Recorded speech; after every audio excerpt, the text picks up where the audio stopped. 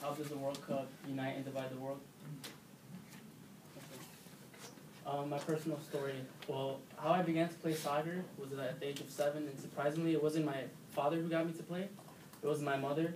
Um, my father was always away because he was uh, an alcoholic.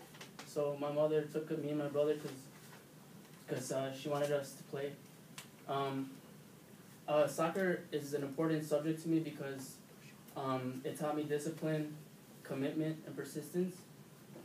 And I met a lot of fr- good friends that I still keep to this day. Um, my first experience of the World Cup was in 2006, and it was in Germany. And I saw how big of a deal the World Cup was.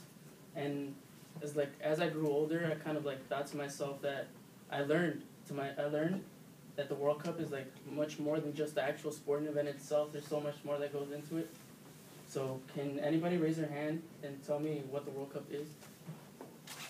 Well, so it's like it's just like um teams like the best players from like all over the world and like they kind of like come and represent like where they're from and like the team that they're like so like say like you're from Mexico and you're good you're gonna go obviously play for Mexico and like I guess like it's like to see like which country has like the best players and they're playing for a cup. Yeah, that's exactly right. Can you go to the next one? It's kind of like the Olympics. It occurs like every four years, except the Olympic occurs like every eight years, I believe. Four. Oh, it's well, it's the same. And well, uh, what makes a difference? It's the biggest single sporting event and competition in the world, and uh, the previous winners of the World Cup was Italy. Well, no, that was in two thousand and six. In two thousand and ten was Spain. In two thousand and fourteen was uh, Germany. Next slide. And it's much more difficult than you think to get into the World Cup. Uh, the international teams, they, have to play in competition prior to the actual tournament itself, and they get placed in groups, and uh, they have to face off the two teams with the highest points, uh, make it in, make it into the tournament right away, and then the teams with the lowest points they have to battle off to uh, make get a spot in the tournament, and then once they get their spot in the tournament, they're divided into groups of eight, and yeah, groups of eight with four teams in it each, at selected at random to make sure there's like no issues, and um, yeah, next one. And well, how does the World Cup benefit the host country? This is um where I was referring to that there's much more that goes into the World Cup than just the sporting itself. In the World Cup, uh, there's an increased touring and re- tourism and retailing in the host country. So millions come to watch the tournament, uh, which means money, more money is being made in the country. Second, uh, it's what's called the feel-good effect, which is when the like the mindset of the citizens that are living in the actual host country it begins to improve because the country is being put on display for the world to see. It's a it's a good thing. And then uh, the third reason is more jobs are created.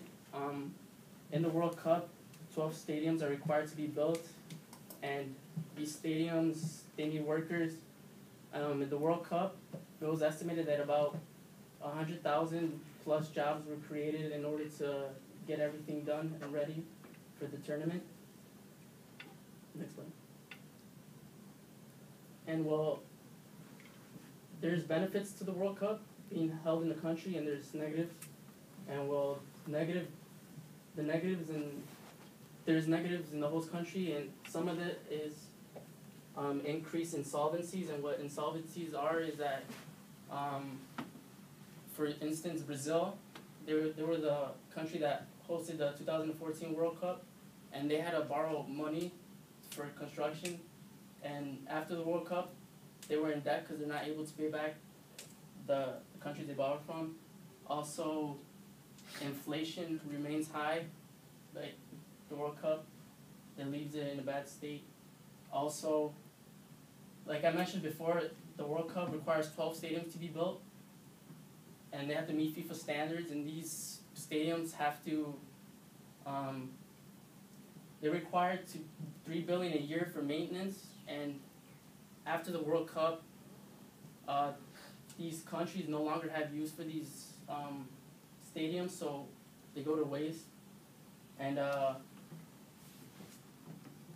for instance in 2014 in the World Cup for Brazil, uh, the stadiums that were used for Brazil after, they either go to small um, semi-professional clubs, which don't bring in any audience, or for instance, uh, and one, um, sorry, uh, one of the stadiums was used for a parking lot, which is just a complete waste, and they're spending all this money on the World Cup, and it's just hurting them. And then, uh, I did an interview with uh, an uncle of mine. His name was Juan Valtero, and we had a lot of similar mindset about the World Cup. Um, he told me that in 2014 in Brazil, that there was a lot of protests and riots about the World Cup being hosted in that country because um, the people of Brazil were not content with all the money being spent on the World Cup because they spent billions of dollars on the World Cup to be hosted there. But um, the people of Brazil wanted the money to go to more important issues like healthcare, education, and there was a lot of problems that that um, it was going on for a while that happened because of that. Also, um, the GDP remains low, gross domestic product, and then the just the World Cup is like, I've can I get the next slide? I've come to the conclusion that the World Cup's just like, it's not beneficial for the host country, and my solution there's no real solution.